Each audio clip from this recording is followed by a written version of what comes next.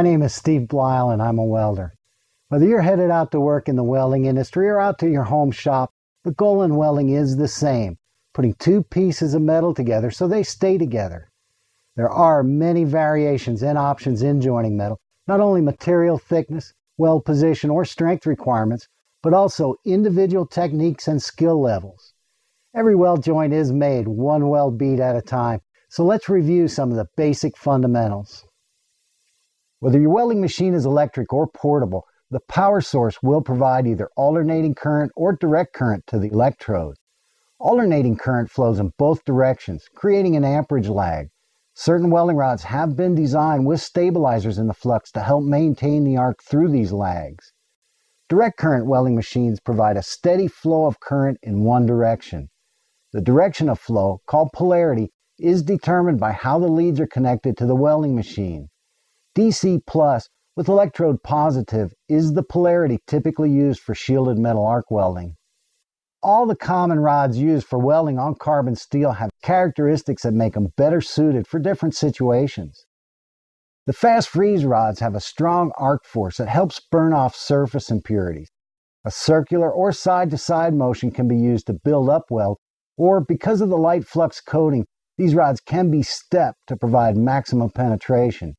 In the vertical weld position, 6010 and 6011 can be run either uphill or downhill. These are good rods for tacking up weld joints, welding metal that is slightly rusted, filling gaps in poorly fit joints, and as a first pass for good penetration. The filler rods don't penetrate as deep, they build up weld. Stabilizers in the flux make 6013 one of the simplest rods to use. With a slightly heavier slag covering, try to keep the arc in the puddle.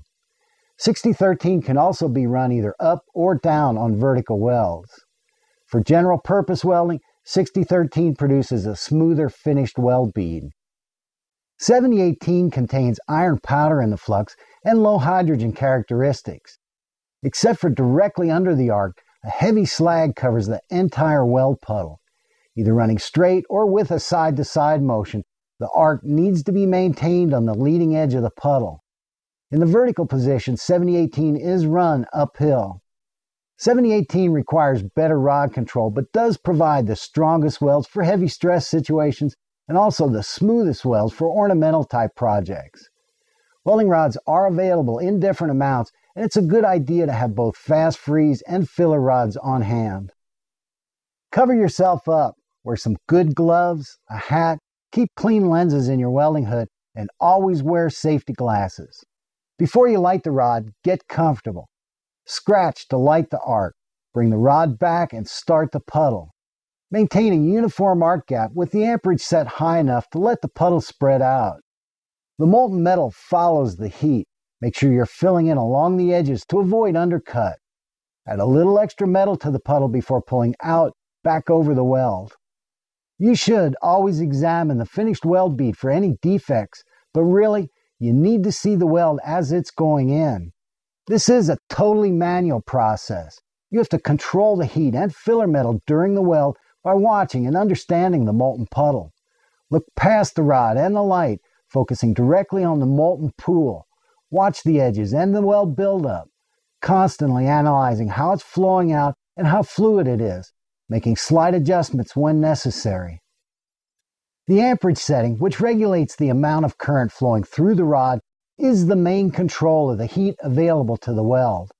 When the amperage is set too low, the puddle only forms under the rod. Increasing the amperage generates enough heat to form a molten pool. Along with starting to get penetration, this is where you begin to have control of the edges of the puddle and the weld buildup. There isn't an exact amperage setting here. In fact, this is one of those things that welders see differently.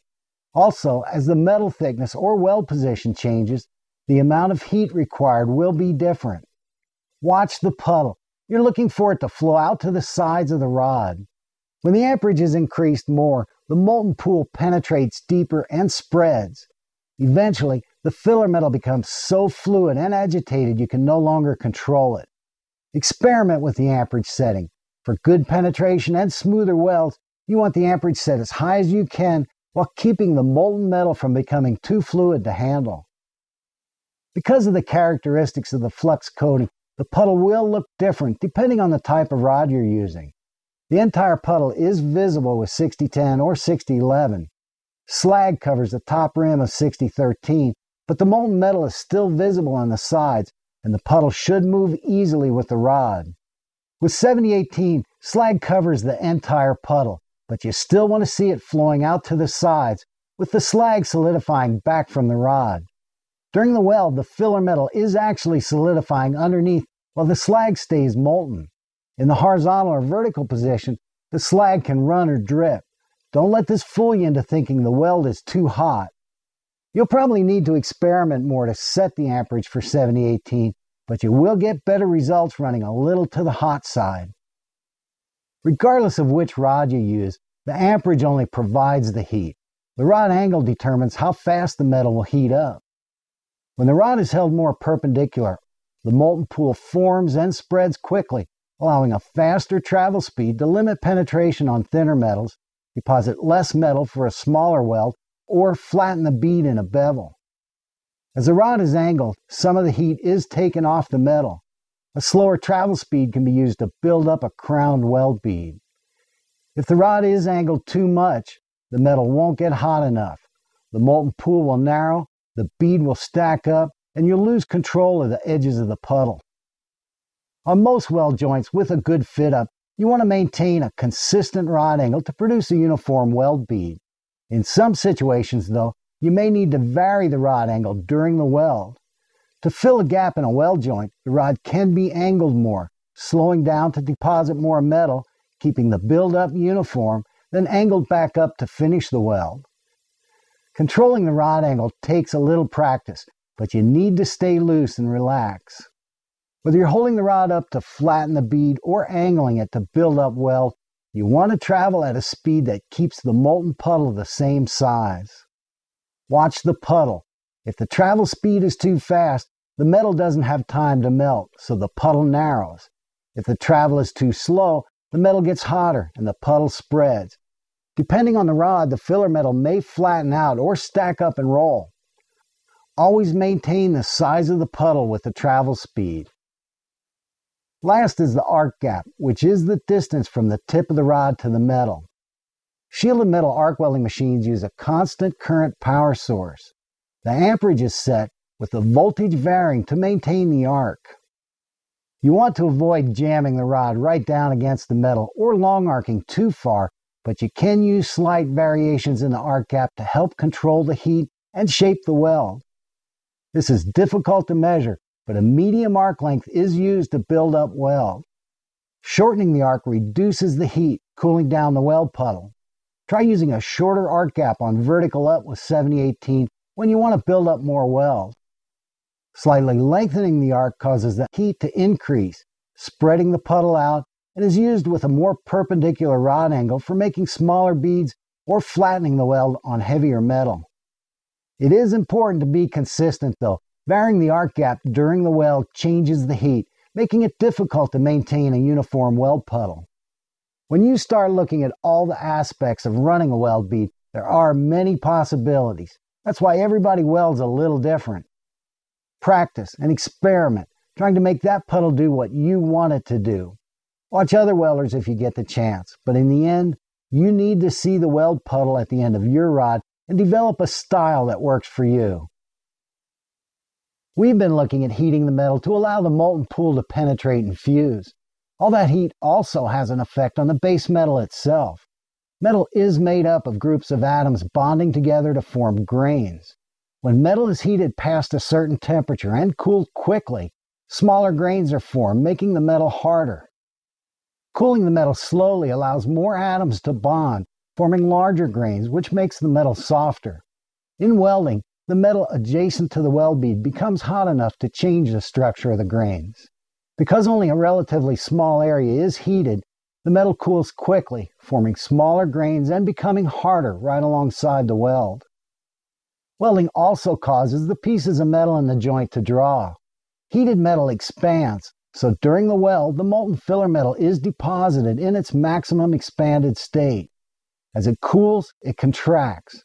When the metal is free to move, it will draw in the direction of the weld. If the pieces being welded are trapped, the molten weld metal still contracts, leaving some residual stress in the metal. There isn't any way to stop this. The metal is going to move. Whenever possible, weld on both sides to reduce the draw. And on pipe or square tubing, use a sequence of welds to help control the draw. Extreme differences in temperature do have a greater effect on the metal. If it's freezing cold, use a torch to heat the metal up a little. Condensation will appear and just warm it up until the moisture dries. Also, if you are welding on harder, higher carbon steel, which does not handle expansion and contraction very well, a preheat may be necessary to prevent the weld from cracking as it cools. As always, there are a lot of variables, the type of steel and the stress that'll be put on the finished product. In most cases, projects are designed so that the stress put on the weld joint does not come anywhere close to the maximum strength of either the metal or the weld. Try to complete the weld once you start it and avoid building up more weld than necessary. When you're finished, let the metal cool slowly. If the metal does break next to the weld, you may need to take a closer look at the thickness of the metal being used and the overall design. Okay, let's take a look at putting two pieces of metal together.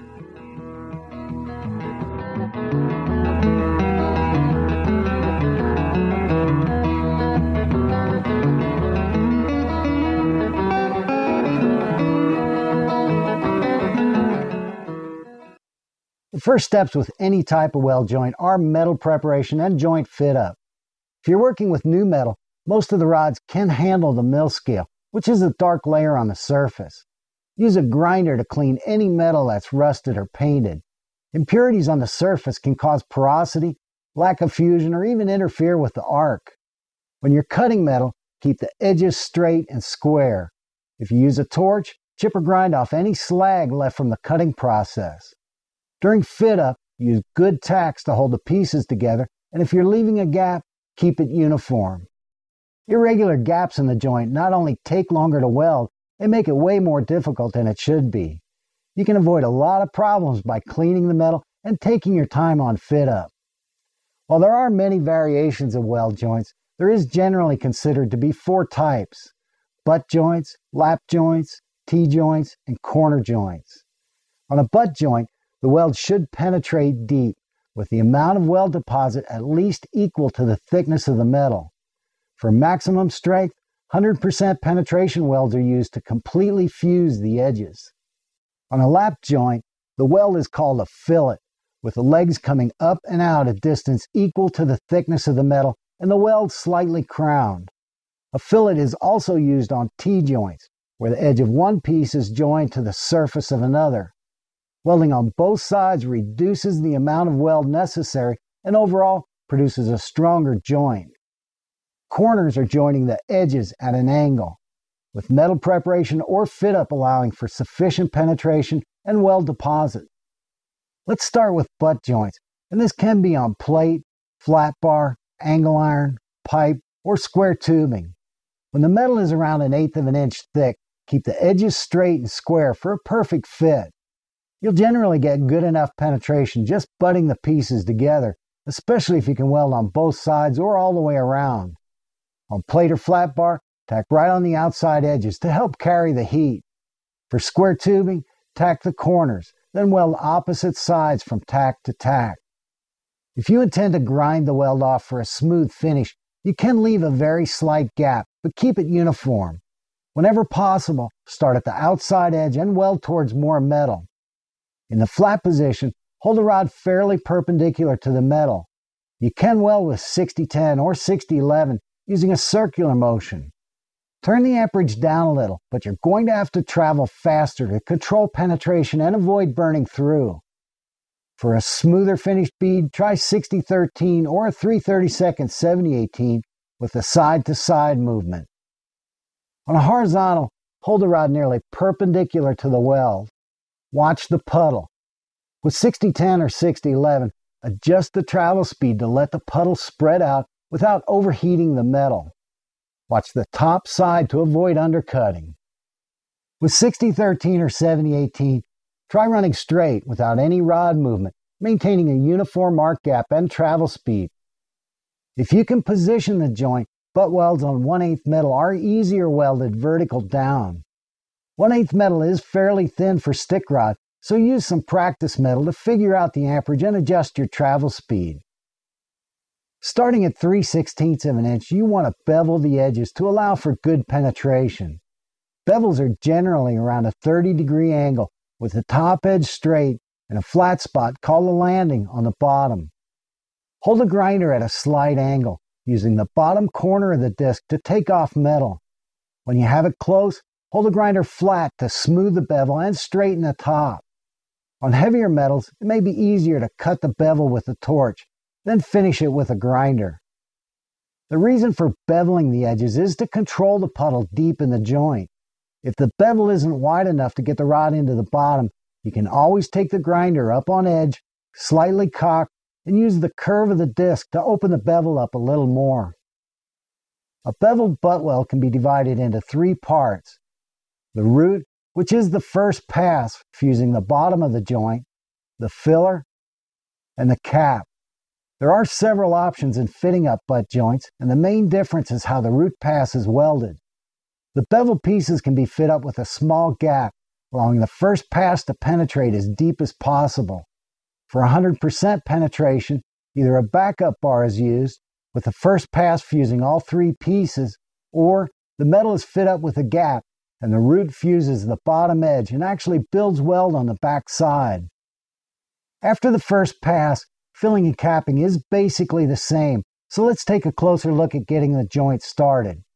Anytime you weld in a bevel, you want to hold the rod fairly perpendicular to the metal to flatten the top of the bead.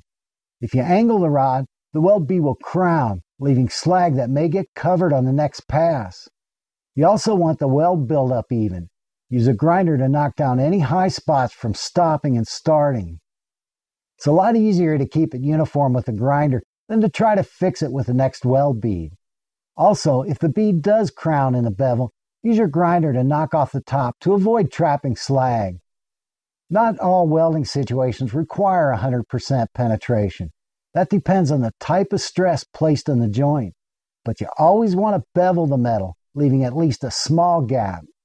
6010 or 6011 will provide good penetration and for the first pass are a little easier to deal with in any of the weld positions. You can use a whip or step motion, gouging into the metal for penetration, then pushing the puddle in to fill. Watch both sides to avoid undercutting along the edges. For more weld buildup, try using a modified circular motion, always coming back to the leading edge of the puddle in the bottom of the joint. If you can handle the puddle, you can also use a filler rod. With 6013 or 7018, hold the rod fairly perpendicular. Use a slight side to side movement and avoid jamming the rod into the sides. Depending on the bevel and gap, you may need to follow the metal to maintain a uniform arc gap. The base metal is getting thicker as you come up the bevel, taking more heat. During the weld, you want to see the edges of the puddle flowing out and tying in on the sides of the bevel. After the first pass, chip the slag, clean it with a brush, and you're ready to fill and cap. If you can get to both sides of the metal, you can weld the backside for a stronger joint. Grind down to clean metal, keeping the depth and width uniform.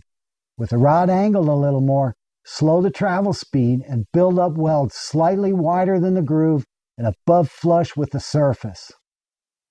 Some welding situations require complete penetration for strength. If the pieces being joined do not fit up perfectly, or with some grades of hardened steel that tend to crack on the first pass, a backup bar is used. A V-bevel with a backup bar is also the procedure for structural welding tests. The goal is to melt and fuse the bottom edges of the pieces being joined to the backup bar. Prepare the bevels with slightly less of an angle and a feathered edge. Grind off the mill scale on the backup bar. Only a narrow strip is going to get tied in and you don't want surface impurities taking the heat. Fit the backup bar tight with around a quarter of an inch gap. This type of joint is generally welded all the way with at least a 1 8 70 18 and you have to be able to get the rod all the way to the bottom. Either tack up on the backside, staggering the tacks, or in the bevel. when you tack in the bevel, grind the starts and stops thin. Always keep in mind, along with fusing the pieces at the bottom, you also want the top of the weld relatively flat to avoid trapping slag. In the flat position, hold the rod nearly straight up and down, angled slightly back towards the weld. Keep the arc on the leading edge of the puddle. With a slight side to side movement, pay attention to the arc gap you want to see the edges of the molten pool tying into the sides of the bevel to avoid crowning the bead. When you're using 7018 in a bevel, stay ahead of the weld buildup and slag. If molten slag is pushed in front of the rod, it can interfere with the arc or limit filler metal fusion along the sides. On vertical up welds, you won't have any problems fusing the base metal to the backup bar. You do want to keep the weld bead flat without undercutting along the edges. Keep the rod fairly perpendicular to the metal, angled up slightly. The puddle needs to flow out on the sides for a flat weld bead and to avoid undercutting. Travel up fast enough to keep the metal from overheating, which causes the molten puddle to spill down. You may need to lower the amperage a little, maybe 5 amps or so, but don't lower it too much as many problems are caused by running too cold on verticals as by running too hot. Remember, the amperage only provides the heat. It's the travel speed, rod angle, and arc gap that determine just how hot the metal is going to get. On overhead butt joints with a backup bar, you don't get to build up quite as much weld bead. With the rod nearly straight up and down, adjust the travel speed to let the puddle spread out without overheating the metal. Most of the problems with overhead come from not controlling the rod. When the tip dances around, varying the arc gap, the amount of heat at the well is not uniform and focused. Find some way to steady yourself so you can control that rod. Also, if the rod is angled too far back towards the weld, the molten filler metal takes the heat instead of the metal, causing the puddle to drip. Horizontal is generally not used for welding tests, but you often get them in practical situations. Angle the rod up and slightly into the weld. The bottom bevel acts as kind of a landing, helping to hold the weld, so you may be able to use a slight rod movement. Watch the top side and push the puddle up. Set the amperage to allow a fast enough travel speed so the base metals don't overheat, which causes the puddle to become too fluid. Don't try to carry a lot of metal on a horizontal. Just get all the pieces tied together and keep the filler metal from sagging. The last type of root is in a V-beveled open butt joint. We're going to shove a 60-10 rod deep into the gap and run a weld bead on the back side of the metal. Preparation and fit up are more critical, so take your time getting the metal ready. The edge of the bevel needs to be straight and square. Grind off all the mill scale on the bottom side. A half round file works good to clean up the inside of square tubing or pipe. The landing should be uniform. Use a file to knock down any high spots. With a 1 8 60 10, I use a 1 16th oxyacetylene welding rod as a spacer with around a 16th landing. The size of the gap and landing can vary a little, but when you figure out what you like, try to keep it consistent for every weld you make. Line up the bottom edges of the metal. With a spacer to adjust the gap, run one tack, pushing the rod right down into the gap. Before you finish tacking up, remove the spacer. As tacks cool, they contract and the spacer gets jammed up. So pull the spacer, make sure the gap is uniform, and finish tacking the joint. On heavier pieces, after the first tack, use a small wedge or a screwdriver to keep the gap uniform. Because of the taper, you can remove these after the joint is completely tacked. On square tubing, tack opposite corners. For pipe, opposite sides. Make sure the gap is uniform, straightening when necessary, then put in two more tacks. Flat, horizontal, overhead, and vertical down root passes are all done the same way. Grind the edges of the starts and stops thin. Hold the rod perpendicular to the metal. Scratch start right on the tack Push the rod down into the puddle and start moving. The filler metal will squirt out the back until you hit the thinned out edge of the tack and it can poke through. Then move as fast as you can keep the gap filling in. If you're not getting all the way through, you will see filler metal squirting out behind the rod, back up in the bevel. Most of the light and sparks will be on the back side and you're building weld on the back of the metal. You want the amperage relatively high, so try starting about the same place as you'd run flat. If you do open a hole, stop right away, pulling the rod back over the bead. Restart right at the edge and keep going. When you finish the weld, grind the edges thin on both sides of the hole and fill it in. Some welding procedures require a vertical uproot pass, and generally you'll need to run about 5 amps lower for uphill. The easiest way is to prepare the metal exactly the same with a uniform narrow gap, shoving the rod in perpendicular and moving up as fast as the gap fills in. Some welders like to thin out the landing a little more, and with a step motion, rip a small keyhole, then fill it in, rip a hole, and fill it in, always keeping the rod deep in the gap. Other welders like to leave a little thicker landing and wider gap, here again using a step motion, laying metal in and making sure it's fusing on the bottom corners. The disadvantage to stepping the root is the possibility of undercutting along the edges on the back side. The advantage is that you actually see the root going in for 100% penetration. Stepping the root uphill also works well when the gap is uneven with wide or narrow spots. The backside bead should be above flush with the entire bottom edges of the bevels melted and fused. Any miss spots are called insufficient penetration. If the travel speed was too slow, the bead stacks up on the backside, causing excessive penetration. On the front side, because the rod was jammed right down against the metal, the bead will crown and undercut along both sides. Grind this out to avoid trapping slag. The metal will be thin from grinding, so you need to run another bead called a hot pass to add a little more metal and burn out any slag left behind. With 6010, try stepping in the hot pass, not gouging quite as deep on the backstroke. Use a faster travel speed so you don't burn through and watch the sides to avoid undercutting. You can also hot pass with a 332 7018. Hold the rod fairly perpendicular. Carry the heat on the sides, moving across the center relatively quick. Don't try to build up a lot of weld and make sure the sides of the puddle flow out so the top of the weld stays flat. Once the bottom of the joint is fused with any of these procedures, you're ready to fill and cap and you will get better results using 6013 or 7018. If the metal isn't too thick, you may be able to finish with one more pass. On heavier metal, when more filler is required, remove all the slag between passes with a chipping hammer and wire brush. This comes with experience, but plan the weld. When several filler passes are required, overlap the edges of the previous beads if possible. The last filler pass should be slightly below flush. Try to leave the top corners of the bevel.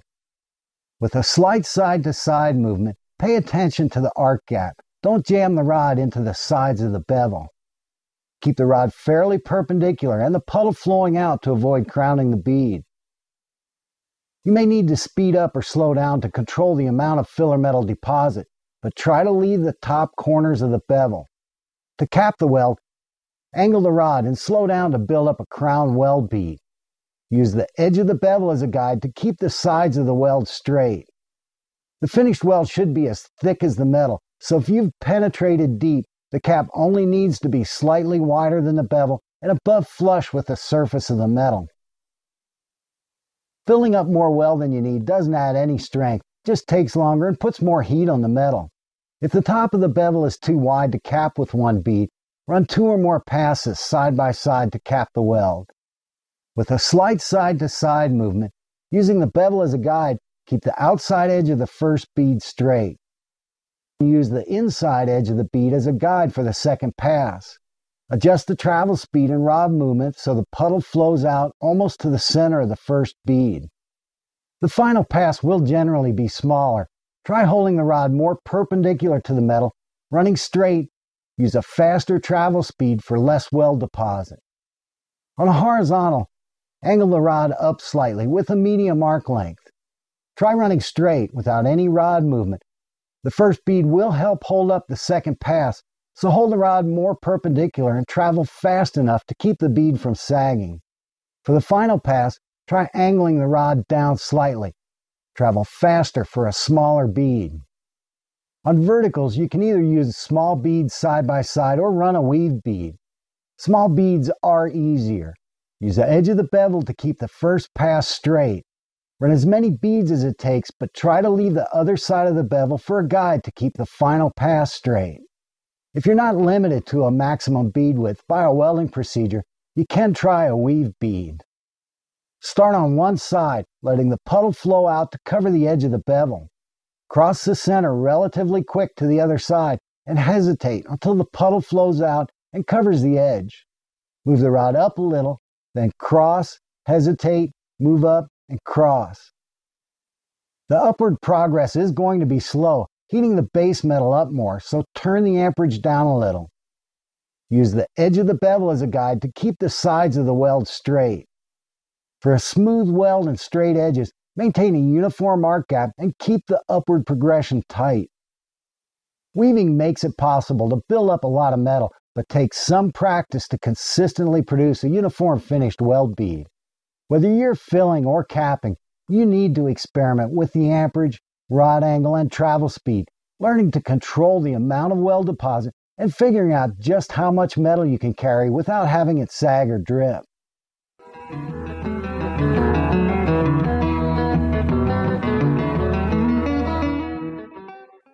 With the butt joint, we were joining the edges of the metal. When one piece overlaps the other, it's referred to as a lap joint. The edge, and especially the top corner, is going to get hot and melt faster than the surface, where the heat is being dispersed in all directions.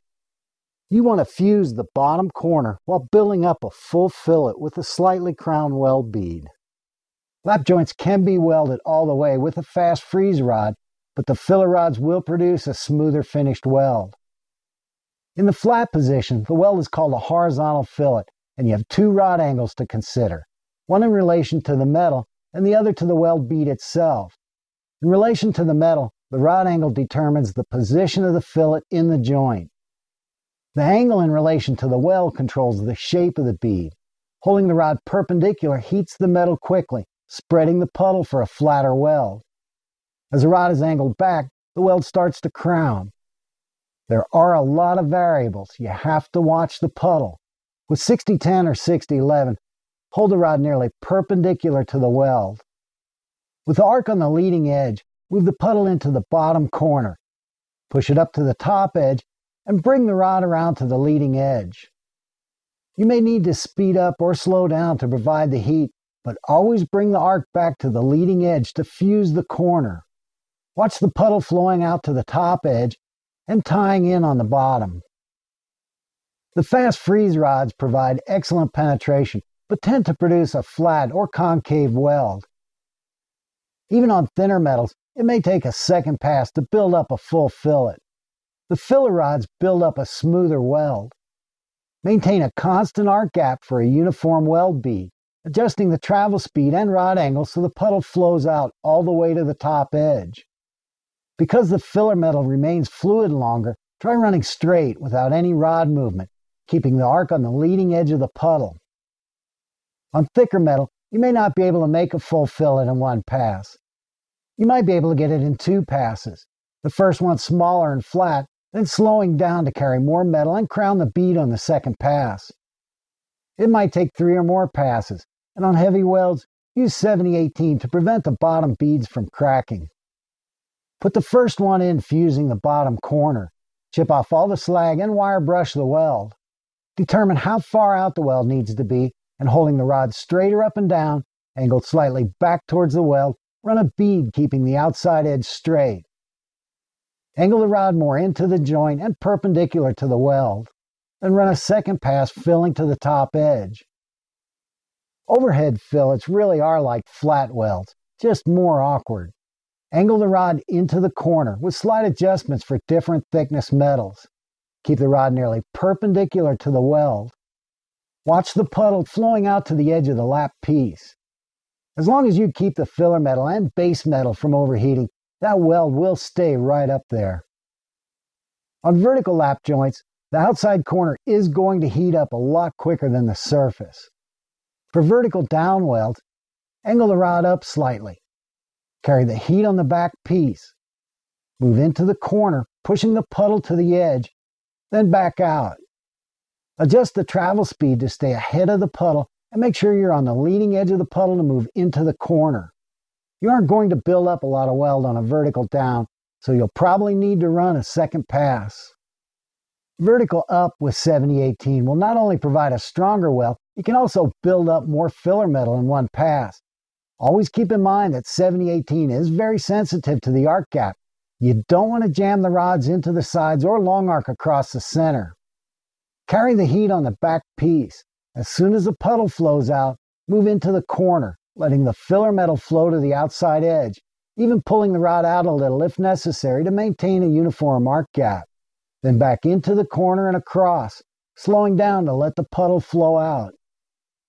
Keep the upward progression tight and use a high enough amperage setting so you don't have to wait for the puddle to tie in. If you have any trouble running an uphill fillet with 7018, try starting out with a 332 diameter welding rod.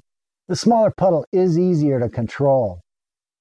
You can also try stepping in a downhill pass of 6010 or 6011 first. This not only provides good penetration, it fills in the corner, making it easier to maintain a uniform arc gap for welding uphill. For heavier metal and more weld buildup, you can either stack weld beads side by side or use a weave bead. Lap joints in any position are fairly easy to weld. The outside corner will melt away, especially on thinner metal. If the top edge isn't uniform, hold your grinder flat and skim along the edge to straighten it up.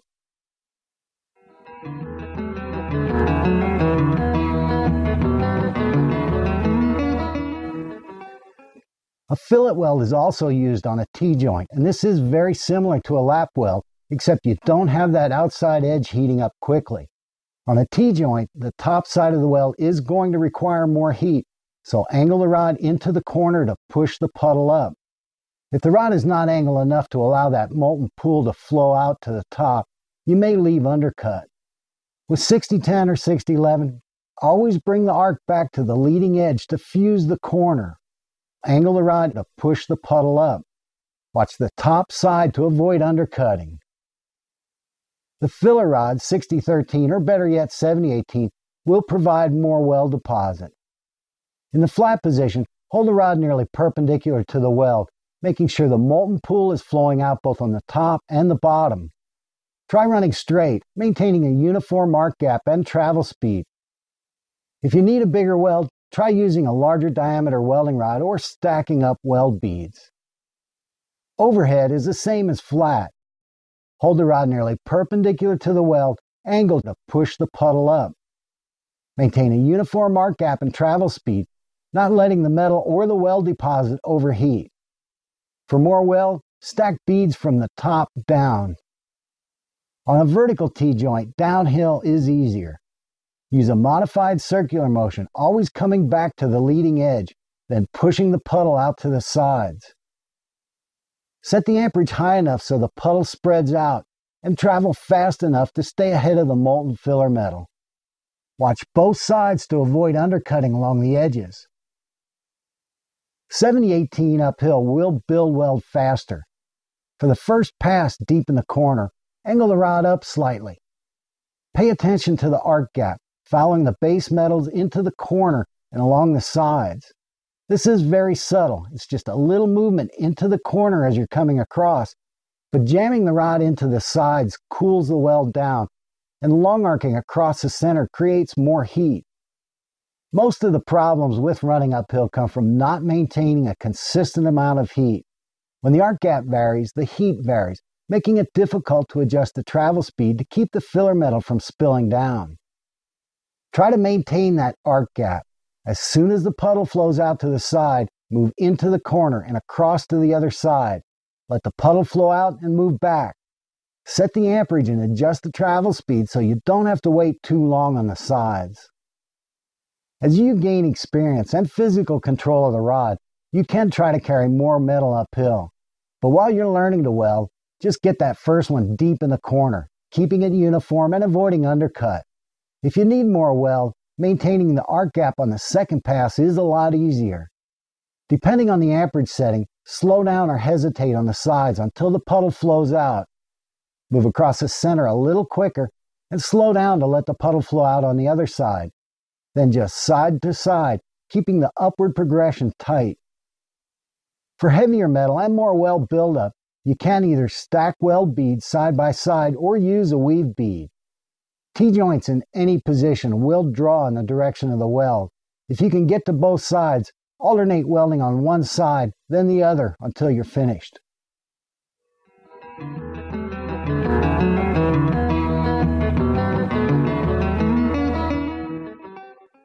Last is corner joints. Depending on the weld position and what you want the finished corner to look like, there are choices in preparation and fit up to provide good penetration. One piece can be beveled at a 45 degree angle, opening it up so you can get the rod all the way to the bottom. The beveled edge is going to heat up quicker than the flat. Angle the rod into the joint, making sure the puddle flows out and ties into both pieces. A first pass of 6010 or 6011 will provide good penetration and is easier to handle in the bottom of the joint. With 7018, try using a 332 diameter rod for the first pass, especially in the horizontal or vertical weld position. Keep the top of the filler beads flat to avoid trapping slag and leave the top edges as guides for the cap. On thinner metal, you can tack up the pieces without a bevel, then use a grinder to groove the joint. For ornamental type projects, you can grind the weld for a nice square corner. Corners can also be fit up butting the inside edges. For maximum penetration, tack up leaving a small gap. This type of fit up requires less metal preparation, and for ornamental type work, the weld can be polished for a more rounded corner or ground flat for a bevel corner. In the horizontal position, angle the rod into the corner, fairly perpendicular to the weld, and maintain a uniform arc gap. When both pieces are the same thickness, they should heat up evenly and relatively quick. With 7018, adjust your travel speed so the puddle flows out to the top and bottom edges, but move fast enough to keep the weld deposit from sagging. Because both edges are heating up quickly, the filler metal will be more fluid, limiting the amount of weld buildup you can handle without having it sag. If you need to make two passes to fill the joint, run the first one fusing the corner and out to the bottom edge. Use the second pass to fill in the top. On thicker metal, plan the weld, leaving a little of the corners for the final series of passes. In the vertical position, downhill will make a flatter weld and will probably require more than one pass. For vertical up with 70 18, the outside edges are going to melt fast, so try using a smaller diameter rod for better control. Pay attention to the arc gap, following the base metals into the corner and along the sides. Keep moving. You won't have to hesitate at all on the outside edges. On any type of corner joint, you want the amount of weld to equal the thickness of the metal. If you have any concerns about the strength of the joint, you can make a fillet on the inside but this will tend to draw the pieces in the direction of the weld. Whenever possible, always try to make the outside weld first. Well, I hope I've given you an idea of how to put two pieces of metal together. There are many more options in metal preparation and fit up to provide for penetration, limit the effects of the metal drawing, and reduce the amount of filler metal deposit. Regardless of the type of weld joint you're working on, you need to experiment with the amperage rod angle, and travel speed, learning to control the amount of weld deposit, and figuring out just how much metal you can carry without having it sag or drip. Make slight adjustments in the travel speed when necessary to maintain the puddle and use the rod angle to control the shape of the weld buildup. Focus on the weld puddle, watching the sides tie in and keeping the filler metal from overheating. Above all else, take your time, have fun with this, and work safely.